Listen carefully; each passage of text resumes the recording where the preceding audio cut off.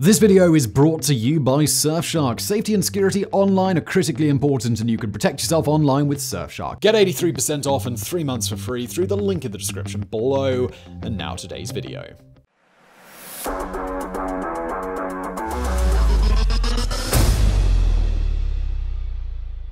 Think back to the beginning of COVID 19. The pandemic hits, stores close, and governments tell you to stay inside. Don't go outside Uh, unless you really need to. You find yourself faced with a home lockdown that many are saying will last for a few weeks, maybe months. No way that it's going to last for more than a year. Right? Looking around, you take inventory of all the things that you have in your home food, clothes, toiletries, medicine, books, video games. This will surely get you through the next couple of weeks that this lockdown will last. No worries at all. Fast forward a week. Your groceries are running low because what else is there to do during a lockdown than binge TV while snacking on whatever is within reach? Plus, you need to find a great outfit to wear once everything opens back up. Your goal of learning guitar finally met a period in your life where there's enough time and you want to see what that air fryer craze is all about and then buy some home workout equipment that you will definitely 100% use, won't you? Luckily, the modern age has given us the miracle of online shopping. No need to go outside and risk exposure to COVID. All you need to do is a few taps on the keyboard, a couple of clicks of the mouse, and voila! All of the products that you could ever want, they're on the way to your door. Unluckily, checking your bank account balance is also just a couple of clicks away, so there's that. But that's a problem for future you. You spend the next couple of days waiting for your packages to arrive with the anticipation of a child on Christmas, and sure enough, a couple of days later, those boxes appear on your front porch. You think nothing of the process of how they got to you, why a product from across the world took only days to arrive, or how these products from all over the world don't take a heavier toll on your poor bank account. There was a time in history, in fact, an overwhelming majority of history, where purchases of international products like this were not so convenient and they were certainly not so cheap. Going all the way back to the early days of international trade, explorers, sailors, and merchants risked life and livelihood testing new boundaries, taming the waters of vast oceans, and traversing routes like the Silk Road to bring back goods from other parts of the world, goods that would be sold for more than a pretty penny. But even as recently as the start of the Industrial Revolution and even into the beginnings of the Digital Revolution, shipping goods across the world was no easy or cheap task. One simple invention changed the very nature of the commerce industry and allowed for hundreds of times more goods to make their way around the world. And that, of course, is today's subject the shipping container.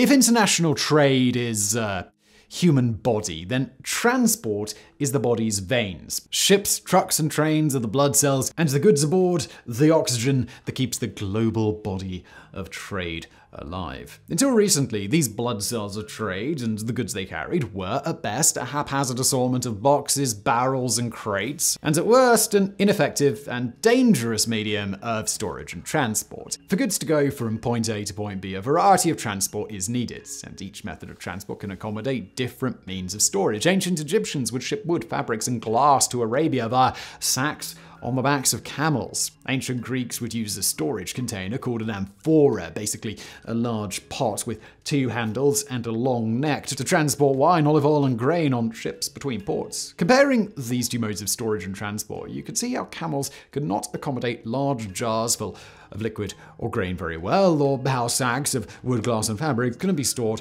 on a ship in a way that effectively uses space, at least without damaging those goods. For much of international trade's history, storage and transport problems similar to these just persisted. Goods would be loaded in crates, barrels, boxes, sacks, and just any other type of storage container that was available or commonly used at the time. Loading these items from the carriages, trucks, animals, or trains onto the ships would often take weeks upon weeks of labor to complete. And the same goes for the process at the other end of the voyage. Dock workers would then unload the ships and pile haphazardly stored goods into warehouses where they would wait to be loaded onto whatever method of land transport would take them to their final destination. That is, unless they had to empty the crates, barrels, sacks, and boxes of their goods and reload them into storage containers more suited for land travel. In between the two destinations, storage space on the transport would be poorly utilized. Sacks, crates, and barrels would be arranged as best they could, but there is only so far that you can arrange a sack and a barrel together to get an optimal use of space. This would lead to fewer goods being transported and weight and balance problems occurring during said transport. Now, things considered, if you were to make the equivalent of an online purchase in the pre shipping container era, your air fryer would only get to you several months later. And you'd be hoping that there'd be no damage that occurred along the way. In that case, it's got a long way home and a long way for a new one to reach you. It wasn't until World War II that someone decided to look into a more standardized way of storage. That someone was the US military. World War II spurred the minds of the US military to come up with a better way of transporting guns, bombs, ammunition, rations, and other materials to the front lines. Who would have thought that you've got a world war to thank for getting that air fryer to you sharpish? So, along comes Malcolm McLean. McLean was an entrepreneur in the 1950s in the United States who had the simple but hugely influential idea to standardize the size of shipping containers, not just for sea transport, but also to meet the needs of land and rail transport. He already owned a trucking company and had experience with the frustrations of transport storage and efficiency. In the 1950s, McLean bought a steamship company so that he could put his idea into practice. And that's when storage containers really set sail. Okay, we'll get back to today's video in just a second, but first, here's a message from today's sponsor, Surfshark. Do you use the internet? Yeah, you do. Do you have personal information that you'd rather remain personal? You bet. Who doesn't? Well, let me tell you something that you probably already know. The internet's a weird place. There are people out there trying to steal your personal information or track your Instagram habits to bombard you with creepily accurate ads. No one wants any of that stuff. Also, Surfshark have HackLock, which searches online for your passwords and they let you know if they've been leaked somewhere. And you can change those passwords and hey, you're nice and safe again. And when you're all nice and safe again, maybe you're like, oh, let's watch some Netflix. That'll be good. But you've watched everything in your Netflix queue and you're like, well, that's disappointing. Tell you what, fire up Surfshark. Jump over to a different country through their VPN, and your streaming options will be a lot different. Loads of new stuff to check out. Surfshark's also totally unlimited, so you can download whatever you want, no worries. Right now, you can get 83% off and three extra months for free at surfshark.deals forward slash side projects, or just follow the link in the description box below. And now back to today's video.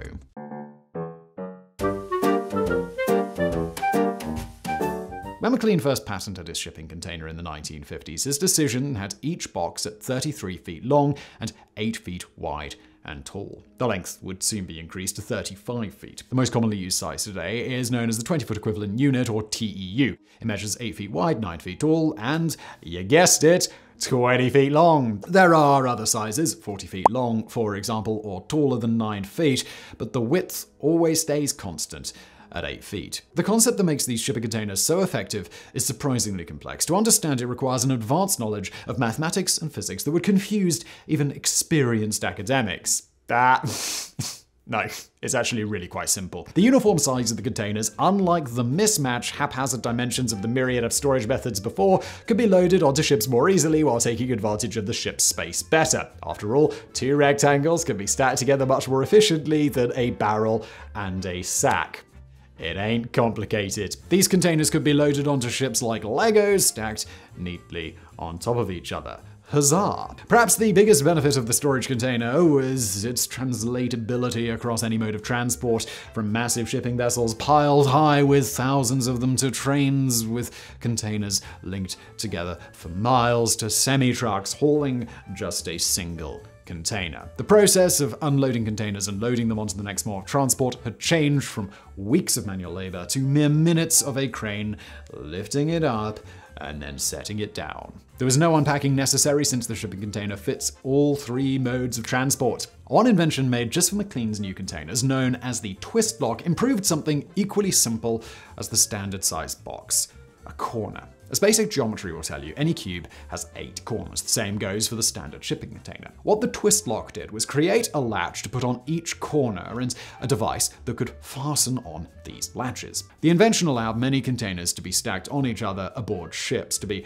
fastened to train cars or the beds of semi-trucks, and to be easily picked up and moved around by cranes. To make this simple idea work, though, McLean had to undergo some complex business maneuvering. In the beginning, the Interstate Commerce Commission would not allow a single person to own both a trucking and a shipping company. So McLean had to sell his trucking company and reinvest the capital, along with a hefty loan of $500 million, into making this idea the new normal. The next obstacle he faced was one of practicality. Ships, trucks, and ports had to be redesigned to accommodate McLean's containers. And here enters another invention, a modified trailer chassis that trucks could use to accommodate the containers. McLean also convinced the Port Authority of New York to build a port in New Jersey next to Port Newark, designed to handle his containers. This port became the example that countless other container ready ports built in the future would follow. One of the biggest obstacles McLean had to overcome was the backlash from port workers. Since the containers cut down on the manual labor needed for loading and unloading at ports, longshoremen went on strike to save their jobs. It nearly drove McLean's newly founded Sealand Company to bankruptcy, but loans helped to keep the company afloat. Then the government stepped in and gave Sealand a big boost during the Vietnam War. When the military started experiencing backups at ports in South Vietnam in 1967, the US government put a large order in for McLean's standard shipping containers to help unclog all of the mess. Shortly after, McLean decided to make his container available for use on a royalty free basis to the International Organization for Standardization. Now, modern shipping more resembles the following scenario. Those dumbbells you ordered that definitely won't gather dust next to the TV are loaded into a shipping container at the warehouse in which they're manufactured. That container is transferred onto a train to make the rest of the journey to the coast, where it will be lifted by crane and stacked on a massive container ship for the voyage across the ocean. When it reaches port, that same container will be unloaded and attached to a truck or train, where it will make its way to your local distribution warehouse. There it will finally be unloaded and packaged to make its way to your front porch.